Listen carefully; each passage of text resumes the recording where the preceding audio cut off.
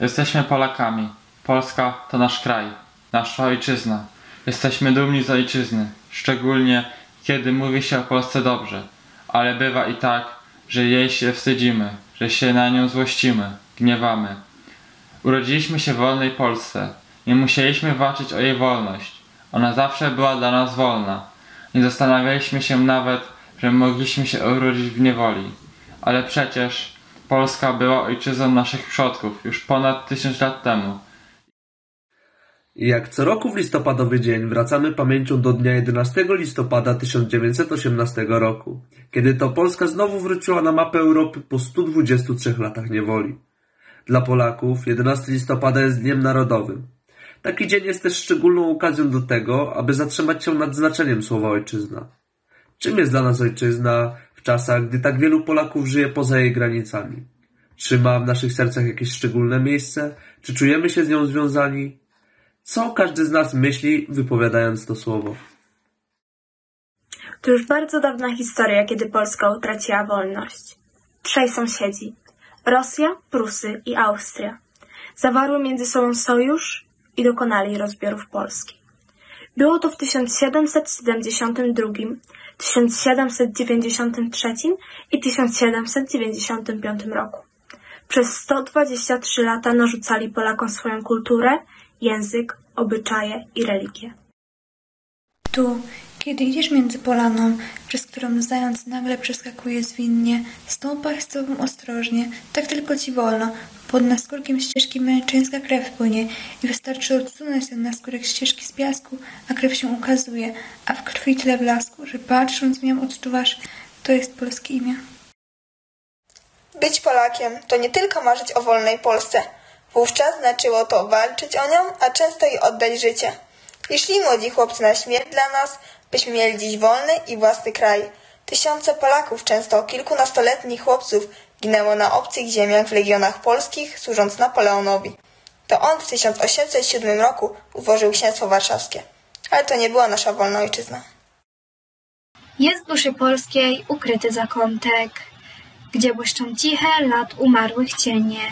Leży tam kamień grobowych pamiątek, a pod kamieniem krwawi się wspomnienie. A kiedy bliska zbierze się drużyna, i drzwi zamknięte, i okna zawarte, to Polak kamień duszy swej odklina i wydobywa tę krwawiącą kartę. Potem nastąpiły dalsze powstania, listopadowe i styczniowe, które zakończyły się klęską.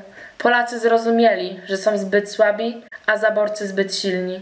Polacy byli biedni, nie mieli wolnego kraju, ale mieli polską kulturę.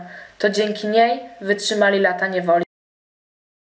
W okresie zaborów Polacy dążąc do odzyskania niepodległości ojczyzny organizowali m.in. powstania narodowo-wyzwoleńcze, zakładali tajne związki i organizacje, prowadzili walkę w dziedzinie oświaty i kultury.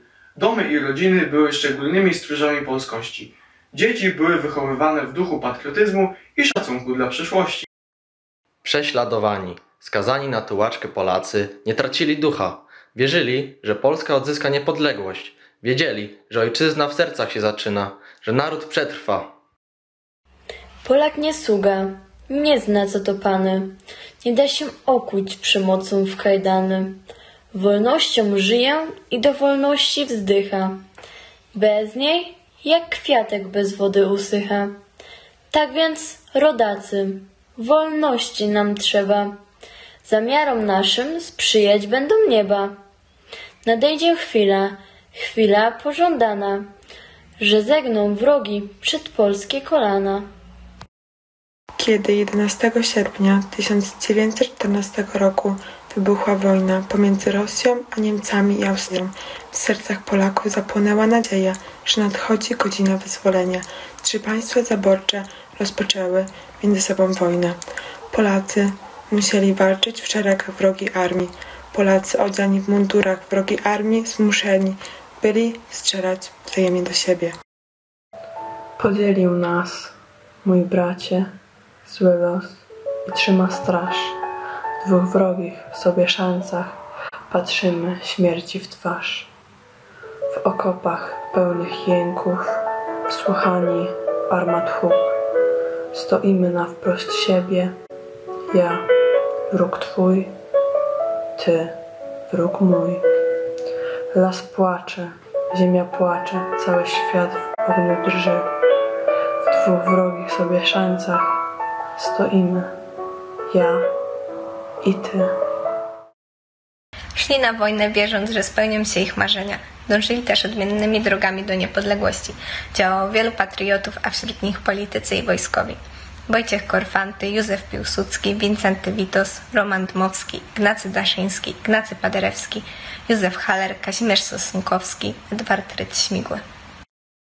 Marzenia Polaków o wolnej ojczyźnie zaczynają się urzeczywistniać. Józef Piłsudski tworzy pierwszą kampanię kadrową, a następnie staje jako komendant na czele pierwszej brygady Legionów Polskich. Po 123 latach niewoli Polska odzyskuje niepodległość i znów pojawia się na mapie Europy. Polska, nie jesteś ty już niewolnicą. Łańcuch twych kajdan stał się tym łańcuchem, na którym z lochu, co był twą stolicą, lat to swym własnym dźwignęłaś duchem. Ojczyzna to kraj dzieciństwa. Miejsce urodzenia to jest ta mała, najbliższa ojczyzna. Miasto, miasteczko, wieś, ulica, dom, podwórko. Pierwsza miłość, lasy na horyzoncie, groby. W dzieciństwie poznaje się kwiaty, zioła, zboża, zwierzęta, pola, łąki, słowa, owoce. Ojczyzna się śmieje. Na początku ojczyzna jest blisko, na wyciągnięcie ręki. Dopiero później rośnie, krwawi, boli. Pioruny biły nadzieję w zegarze godzinę twoją. O Polsko szczęśliwa. Pioruny kuły twych kajdan ogniwa, że się rozpękły w płomiennym ich żarze. Taką nam ciebie wróżyli pieśniarze, których duch ogniem wyżyny porywa, że przyjdziesz ze krwi zrodzona krwią żywa, w szczęku oręża i w armat rozgwarze. Dziś w całej Polsce brzmi mazurek. Dzisiaj radość, kanonada. Witamy wszyscy niepodległość. 11 listopada.